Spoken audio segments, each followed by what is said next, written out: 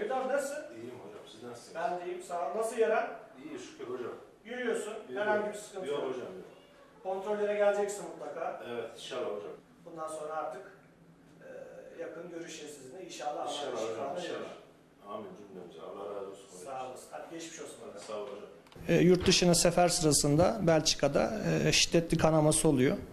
Aslında daha önce de kanamaları varmış ama hep ihmal etmiş. Bu sefer kanaması fazla olunca Belçika'da bir e, hekime başvuruyor. Orada yapılan tomografilerde de böbreğinde kitle olduğu sö- söylenmiş. Hasta da tedavisinin Türkiye'de yapılmasını tercih etmiş. Bunun üzerine e, ülkeye döndükten sonra da bize geldi. Biz yeniden filmlerini, yurt dışındaki filmlerini değerlendirdiğimizde aynı sadece böbrekte olan bir kitlenin olmadığını, aynı zamanda böbrekten kaynaklı olan kitlenin damarlara da yayıldığını fark ettik. E, aynı zamanda mesanesinde de bir kanama vardı. E, sonra hasta durumu anlattık.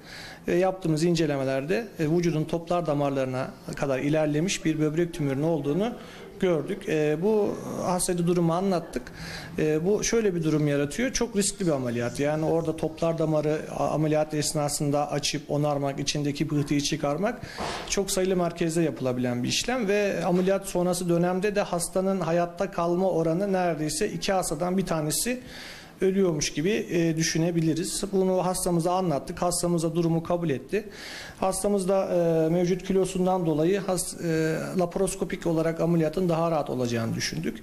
İlk önce laparoskopik kapalı olarak girdik. Böbreğini ve etrafındaki dokuları serbestledikten sonra e, ana toplar damar olan vena cava dediğimiz yere e, ulaştık. E, hastamız 3 gün önce ameliyat oldu. E, Allah nasip ederse de yarın taburcusunu yapacağız. E, gayet iyi işine gücüne dönecek. Artık patoloji sonucunu bekleyeceğiz. Belki gerekirse ek tedaviler de verebiliriz. Tır şoförüyüm ben. Biraz rahatsızlandım yurt dışında. Orada bir hastaneye gittim. Orada iki gün yattım.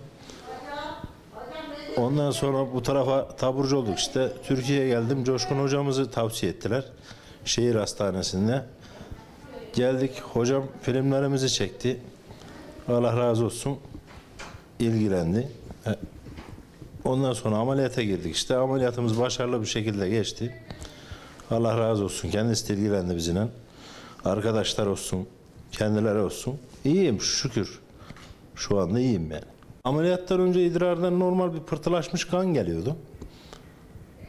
Arada geliyordu, kesiyordu.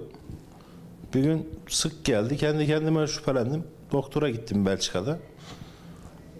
Ondan sonra sonuç ameliyata döndü işte. Tamamdır. Hadi. Hadi geçmiş olsun. Ben geçmiş